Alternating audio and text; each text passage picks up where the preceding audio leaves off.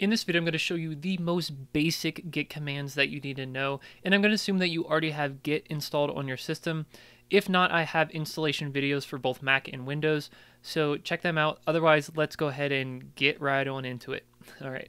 Um, I'm on a Mac, and I'm going to open up a terminal window. If you're on Windows, you can open up a command prompt. And basically, I'm just going to go to my desktop real quick and make a new folder here. We're going to store our code called fruit, okay? I'm going to go into that fruit directory and I'm also going to open it up in a finder window so we can keep an eye on what we're doing here.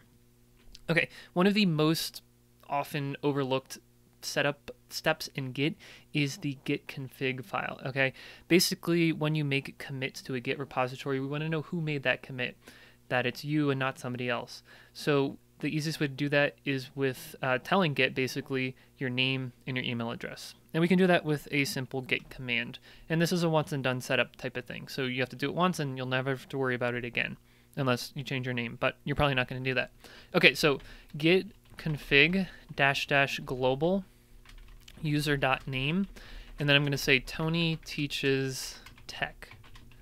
Okay, and I'll do that again, git config dash dash global user email, and I'll type in my email, tony at tonyteaches.tech. Now, all this really does is uh, in your home directory, it's going to make a hidden file called git config with that same exact information. Okay, we're done with that. We don't have to worry about that again.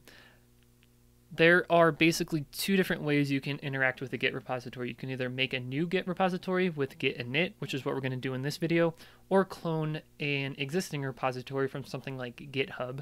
Uh, we'll do that in another video this video is just going to be locally working with git commands, local git commands. So all you have to do to initialize a repository is execute the git init command. And this says it initialize a git repository in my fruit directory and the file is called or the folder is called .git. Okay, you don't see anything happen over here because this is a hidden folder.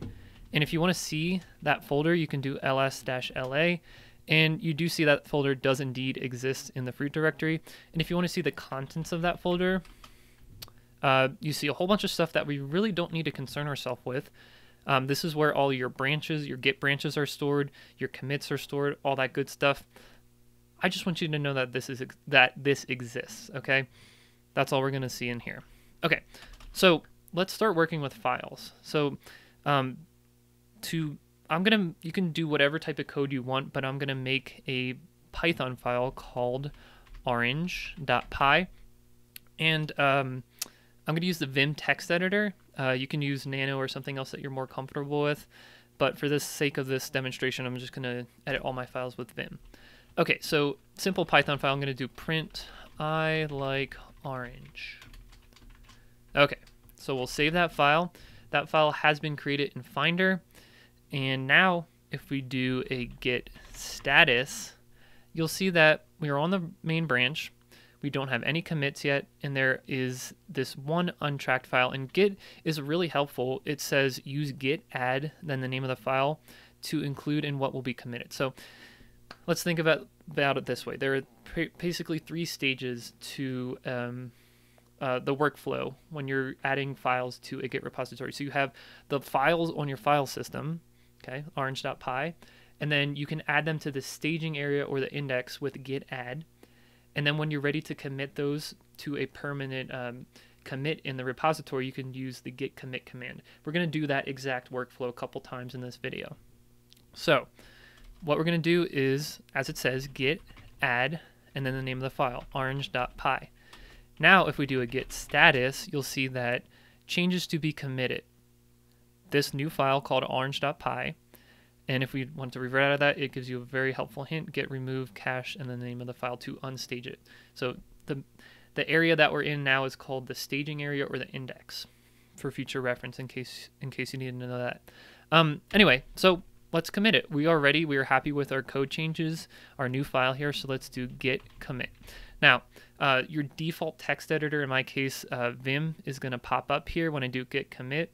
Um, you can specify that with a git config command. We won't go over that in this video, but uh, all you have to do in here is type a commit message. So what did we do here? Um, I, I'm going to say I added a new file about oranges.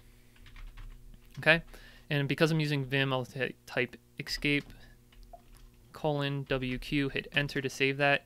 And now it says uh, one file was changed. It created this orange.py file. So that orange.py file is now in our Git repository. So we can do a Git status. We're on the main branch still, nothing to commit. The working tree is clean.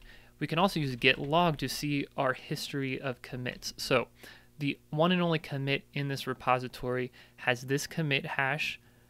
I was the author of it. It was committed on this date at this time, and there's my commit message. I added a new file about oranges.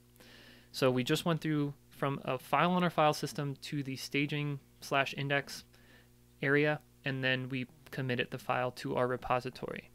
So let's take it a step further. Let's let's modify that file. I'm going to open up the orange.py file. And instead of saying I like orange, I'll say I like oranges with an exclamation point. So I'll save that file. Now if we do a git status, we'll see that the file has been modified. Git is smart enough to know that that file has changed from what was previously committed to what we just changed. Okay, and we can actually see that change by doing git diff. And the old content of the file was I like orange, and now the new in green is I like oranges. Now, we're not ready to commit that yet. Let's say we wanted to add another file to our repository. Let's make a new file called apple.py. And here I'll do um, fruit, fruit equals apple, and then we'll do print I also like to eat, and we'll do format fruit. So if we would run this code, it would say, it would print out to the console, I also like to eat apple. Okay, so let's save that. That file has been created over here in Finder. And what if we do a git status now? So now we have a file on our file system that is untracked. Git has, we haven't added it to the repository yet. And we have a file in our index slash staging area, or I'm sorry, uh, a file that has been committed but is also not staged. So let's actually add one of those at a time. Let's do git add orange.py. Now if we do a git status, we'll see those two separate stages. We have a file on a file system that Git doesn't know anything about, and then this one in the staging area. Um, let's let's add them both at the same time. Let's do git add. And a shortcut here, if we don't want to specify apple.py, if we want to get everything in the working directory currently, we can do git add with a dot. So what that's going to do is if we do another git status, these are the changes that are to be committed. Both of those files are in the index. Both of those files are in the staging area. So now we'll do a different type of git commit. We'll do a git commit dash m for message. It's a shorthand.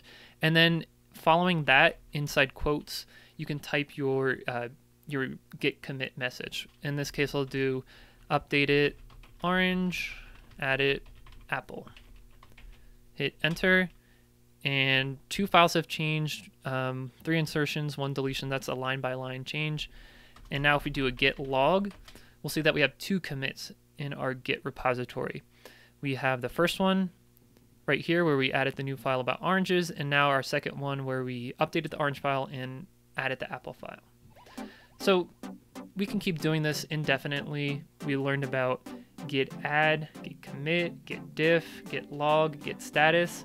All those good commands, those are all local commands that only interact with your local repository.